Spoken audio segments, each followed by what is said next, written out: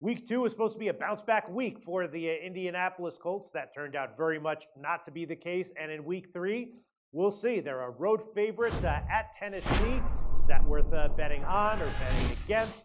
We'll talk with Joe Duffy from OffshoreInsiders.com to see what he thinks about it. I'm Peter Loshak. You're watching SBR Videos. Joe Duffy, uh, you know, the turnovers and penalties have crippled uh, Indianapolis in the first two games. Those are probably going to even out, but they look like they have some other real problems, right? Their their weapons on offense are looking kind of old. You know, I mean, we're old, but in handicapping, that could be a, a real benefit on the football field. That's a, that's a major negative. They have a ton of injuries in the secondary. I don't know. You know, going on the road, giving three or three and a half to Tennessee. Do you think it's worth uh, maybe a bet on Tennessee here? Uh, quite possibly. Uh, you know, the Colts have been very good under Andrew Luck coming off of a straight up loss in a game which they also did not cover. In fact, they had been 15 and 0, now 15 and 1. But what really worries me as far as the Colts are concerned is Andrew Luck seems to be on a long list of quarterbacks that can that just regresses.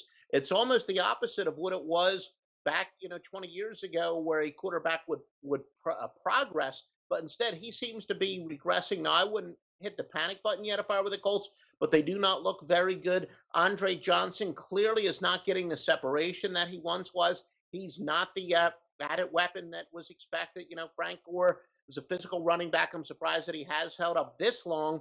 Uh, he's a very durable running back, but eventually he's going to hit that wall. He may, he possibly has hit that. What surprised me a little bit is, you know, usually at the professional level, teams do regress to the mean, but winless road favorites off of consecutive losses of 13 points or more are 0 and 4. This is very rare, extremely rare circumstance, but it's 0 and 4 against the spread and only 1 and 3 straight up. And if you just have a team off of consecutive double digit losses laying points on the road, still only 1 and 6 against the spread. So I, I really think maybe the, the better play here would be the uh, under. The Colts yeah. offense is not very good. Uh, Tennessee's got some injuries and some question marks on their offensive line. Warmack is out, so they got a rookie and replacement on the offensive line. I think it's going to be a low scoring game. That's what I was thinking myself. And, you know, the Titans are, are kind of, uh, you know, they're not making Mariota do everything himself. They have a pretty effective run yeah. game, which are probably going to. Employ here as well. And and I, you know, I was thinking that uh, you know when you when you think about the Indianapolis Colts, you think of you know very strong, high-powered offense and defense that's uh, maybe adequate. But this year, mm-hmm. it's a completely different story for Indianapolis, right? I mean, going forward, should we look at them as actually having a weak offense? I mean, obviously Andrew Luck is, is going to have his good games, but if he doesn't have you know dynamic weapons to work with on offense, what, how do you rate Indianapolis' offense right offense right now?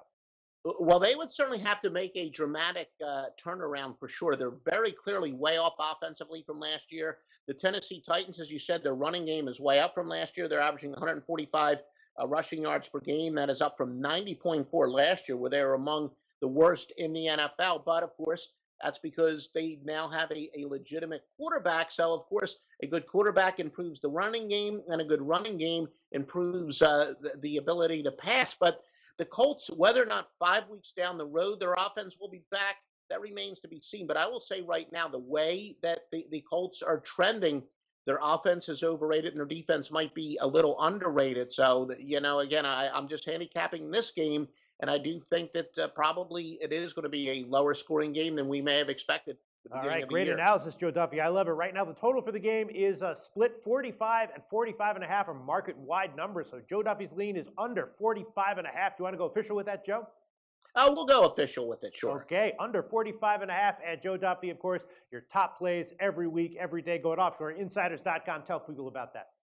Uh, seven and two going back to week two of the preseason. Twenty. Uh, that's with Wise Guy plays. It is twenty-one and twelve overall. Another splendid uh, NFL season. You know, we're not going to claim eighty percent or whatever. We consistently hit the upper fifty, lower sixty percentile, and now we're at you know the higher end of that. It's been a great start to the NFL season. All right. Thanks so much, Joe. Thank you, sir.